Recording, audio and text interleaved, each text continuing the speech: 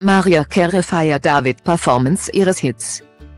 Mariah Carey, 53, liebt David Beckhams, 47, Version ihres Weihnachtshits.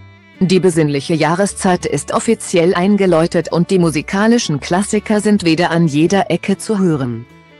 Victoria Beckham, 48, die Frau des ehemaligen Fußballers, teilte ein heimlich aufgenommenes Video ihres Liebsten auf welchem der Vierfach-Papa Marias Erfolgssong All I Want for Christmas Is You zum Besten gibt.